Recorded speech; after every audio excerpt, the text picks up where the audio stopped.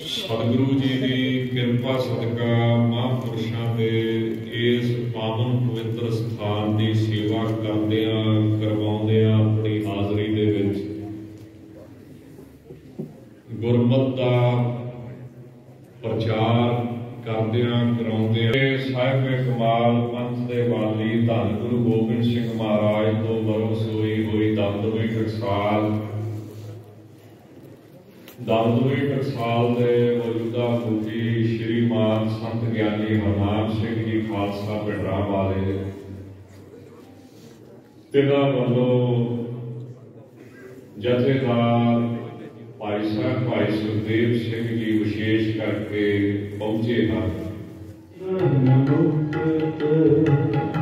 ਸੋ ਕਹਾਵੇ ਜੀਵਨ ਮੁਕਤ ਸੋ ਕਹਾਵੇ ਰੱਬ ਤੈਸਾ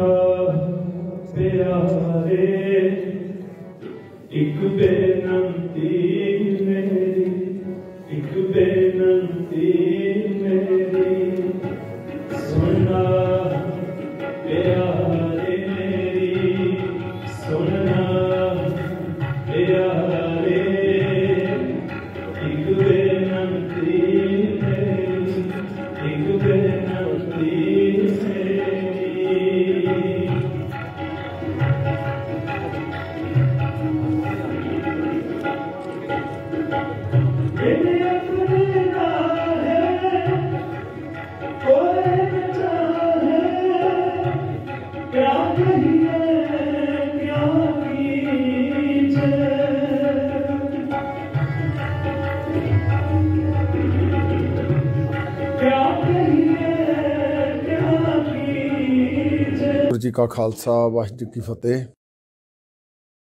ਅੱਜ ਸਾਡੇ ਤੋਂ ਇੱਕ ਪਵਿੱਤਰ ਆਤਮਾ ਸੰਤ ਬਾਬਾ ਮਨਜੀਤ ਸਿੰਘ ਜੀ ਹਰਖੋਵਾਲ ਵਾਲੇ, ਜਿਹੜੇ ਸੰਤ ਬਾਬਾ ਜਵਾਲਾ ਸਿੰਘ ਜੀ ਦੀ ਬਾਂਸ ਦੇ ਵਿੱਚੋਂ ਸੀ। ਔਰ ਗੁਰਦੁਆਰਾ ਸੰਤਗੜ੍ਹ ਹਰਖੋਵਾਲ ਵਿਖੇ ਲੰਬੇ ਅਰਸੇ ਤੋਂ ਬਤੌਰ ਮਹੰਤ ਜਿਹੜੀ ਉਹ ਸੇਵਾ ਨਿਭਾ ਰਹੇ ਸੀ, ਉਹ ਅੱਜ ਸਾਡੇ ਵਿੱਚ ਵਿਛੜ ਗਏ। ਕਿਉਂਕਿ ਕੁਝ ਸਮੇਂ ਤੋਂ ਉਹ ਬਿਮਾਰੀ ਤੋਂ ਪੀੜਤ ਸੀਗੇ।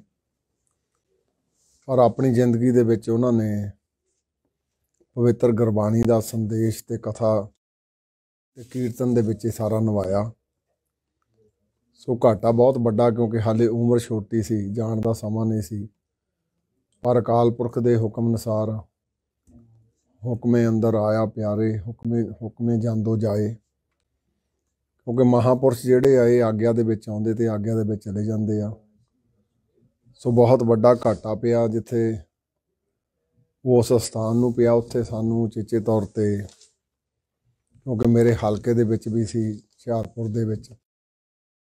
ਤੇ ਉਵੇਂ ਵੀ ਜਥੇਬੰਦੀਆਂ ਦੇ ਵਿੱਚ ਵੀ ਉਹਨਾਂ ਦਾ ਬਹੁਤ ਵੱਡਾ ਹਮੇਸ਼ਾ ਯੋਗਦਾਨ ਰਹਿੰਦਾ ਸੀ। ਸੋ ਸ਼੍ਰੋਮਣੀ ਗੁਰਦੁਆਰਾ ਪ੍ਰਬੰਧਕ ਕਮੇਟੀ ਵੱਲੋਂ ਜਿੱਥੇ ਮੈਂ ਉਹਨਾਂ ਦੇ ਅੱਜ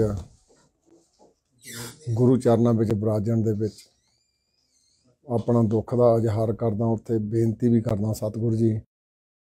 ਪਿੱਛੇ ਗੁਰਦੁਆਰਾ ਸੰਤਗੜ੍ਹ ਹਰਖੋਵਾਲ ਨੂੰ, ਸਾਰੇ ਸੇਵਾਦਾਰਾਂ ਨੂੰ ਤੇ ਸਾਰਿਆਂ ਨੂੰ ਇਹ ਪਾਣਾ ਮੰਨਣ ਦਾ ਬਲ ਉਦਮ ਬਖਸ਼ਿਸ਼ ਕਰਨ।